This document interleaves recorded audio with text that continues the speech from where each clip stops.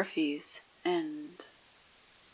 Episode 9 October 31st. Halloween.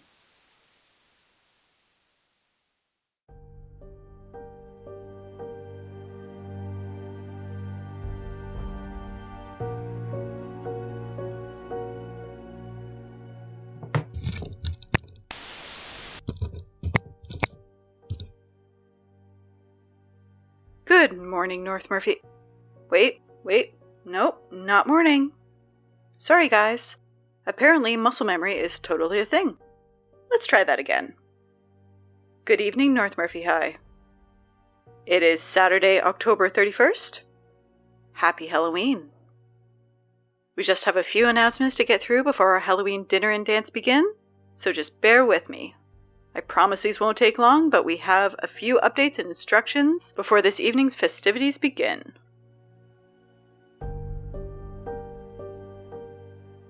First of all, I'm sure you all know by now since, well, you're here at 5 p.m.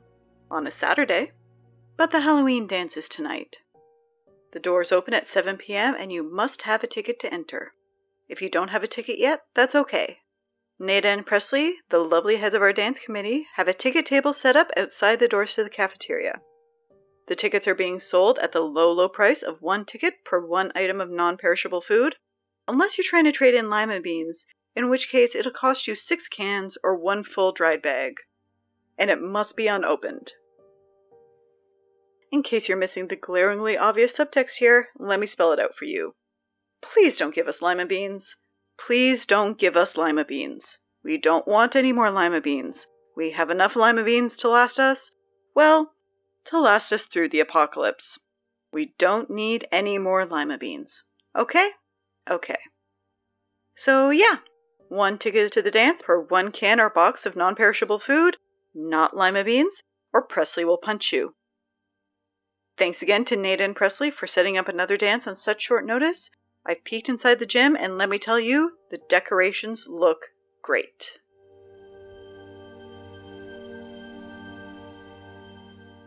Speaking of lima beans, in an effort to spread some of the good cheer, we will not be having lima beans for dinner tonight, which in and of itself is truly a celebration.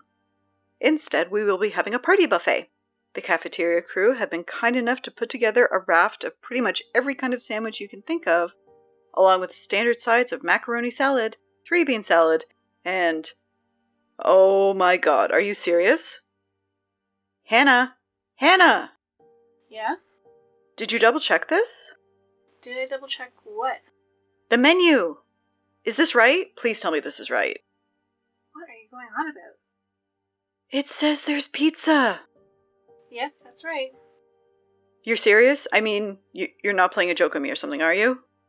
Sammy, it's Halloween, not April Fool's Day. No, but seriously, you cannot joke about this. Like, ever, okay? Sammy. Is there pizza? Sammy, I need you to take a deep breath, okay? Just breathe. Okay, I'm okay. Okay, good. Okay. Sammy, Yeah? there's pizza.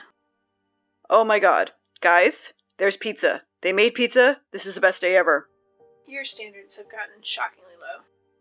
I love Halloween so much. Sammy, Yeah?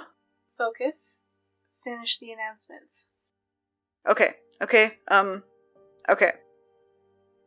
Let's just pretend that any of you will actually care about the rest of these announcements after this fantastic news. Sammy, focus. I am! But I also haven't had pizza since the apocalypse, so excuse me for getting a little excited, Hannah. Okay, where was I? Oh, yeah. At the dance, there will be more pizza. I don't know who made that happen, but I could honestly kiss them. There will also be soda, pretzels, chips, and roasted pumpkin seeds. There is also a big thing of punch, so make sure to pace yourselves and enjoy responsibly. And if you just happen to see Sid pouring anything into the punch, or if you see it starting to smoke and bubble on its own accord as Sid disappears mysteriously around the corner, it's probably best to leave it alone.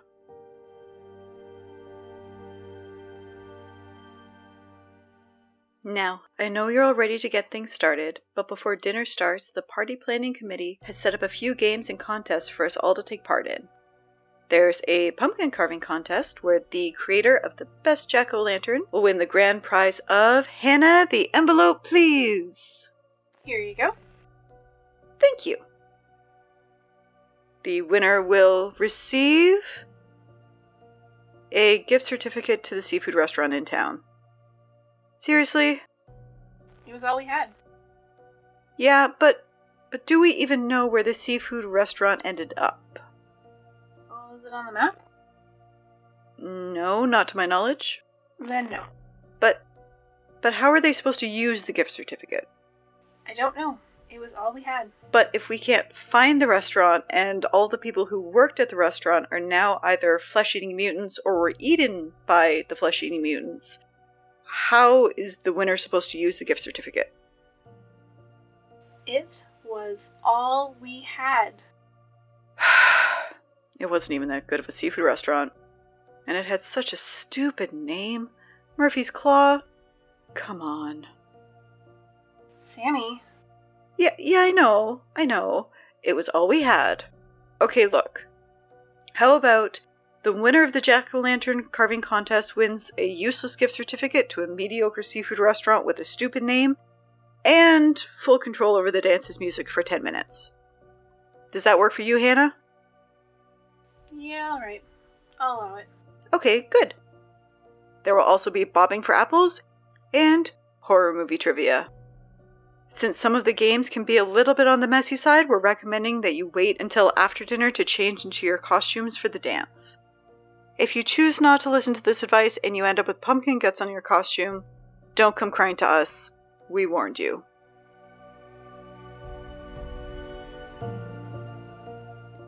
Speaking of costumes, just a reminder that there will be a costume competition at the end of the dance. I'm not sure what everyone was able to come up with on such short notice, but I sure am excited to see what everyone's wearing. Especially since there will also be a contest for the worst costume. And let's be clear, you actually have to be in costume to enter either the best or worst costume category. You cannot just wear your normal clothes and say you're a serial killer. That's cheating. Even if your normal clothes are covered in blood, you will be disqualified. That's not a costume, guys. That's just laziness. We all have clothes that are covered in blood. You're not special. You're just gross. Do your laundry. Thank you.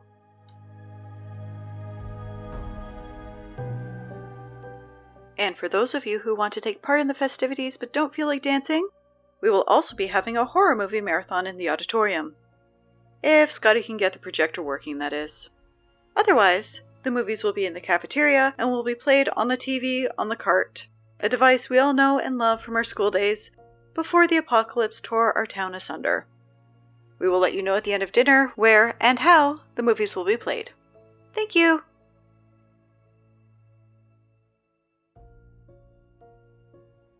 Okay, just a couple more announcements before we kick things off.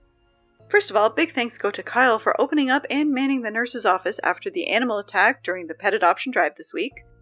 Your efforts were very much appreciated, and you did a really, really good job. I saw that. What was that, Hannah? I saw that. You're blushing again. Do you like Kyle too? Shut up, Hannah. We aren't talking about this. Oh, yes, we are. Who else do you like? Okay, fine. We will talk about this later. But in case you haven't noticed, I'm doing the morning announcements right now. It's after 5 p.m. I'm doing the evening announcements.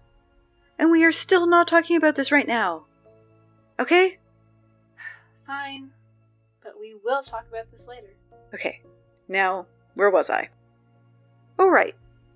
In other news, the mysterious creatures that at first glance appear to be adorable mixed breed puppies and then turned into terrifying things have been successfully rounded up and gifted to the demon who hangs out by the water fountain in the third floor corridor. Apparently, while it is terrified to death of cats, horrible hell creatures are just fine in its book. We haven't actually seen or heard from the creatures since they were rounded up and given to the demon, so honestly, we can't be sure whether or not it kept them as pets or ate them. But well, so far everything seems fine. And yeah, I think that's it. That's the last of the announcements. So if you could all gather up your stuff and make your way to the cafeteria for dinner, Sammy? that would be. Sammy. Hannah, just give me a second. I'm almost done. Sammy! What? Get over here and look out the window. What? What is it? Oh my god, is that. It's the kids. Oh my god, okay. Everyone? I don't want to cause a panic, but remember how all of the children disappeared during the apocalypse back in June? And we haven't seen or heard from them since? Well, they appear to be outside. Um, and they're in costume. They're adorable. Yes, Hannah, they're adorable. They're little kids in Halloween costumes. Of course they're adorable.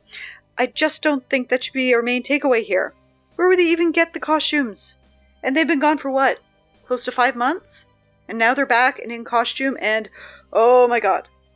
Okay, um I don't want to alarm anyone, but I think they're trick or treating. They're all staring up the main door to the school and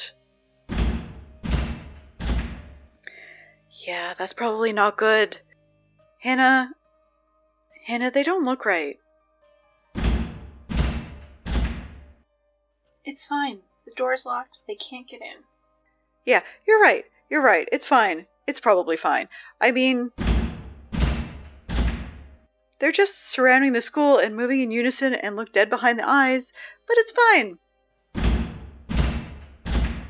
The doors are all closed. They can't get in. It's fine. Uh oh. Uh oh. What uh oh? Hannah! Hannah!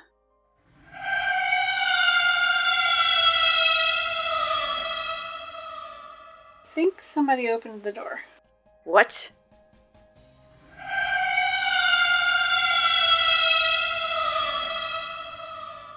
Oh, not again. Guys, the children are inside. Repeat, the children are inside.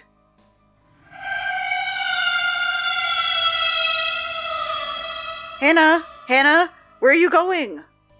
Well, I'm going to the principal's office, and I'm going to barricade the door.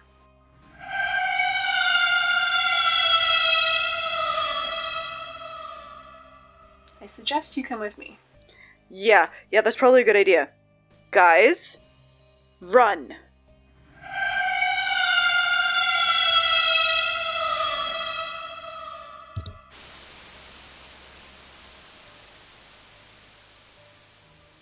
Murphy's End is a Hindsight podcast production, and new episodes are released every Tuesday. Sammy is voiced by Sarah Eagleson, Hannah is voiced by Krista Seeley, and full credits for the episode can be found at our website, hindsightpodcast.com. While you're there, sign up for our mailing list for news and information about upcoming episodes. You can also find us on Twitter at Murphy's End. And if you like the show, please leave us a rating review on Apple Podcasts or support us on Patreon. Remember, it's going to be a long year.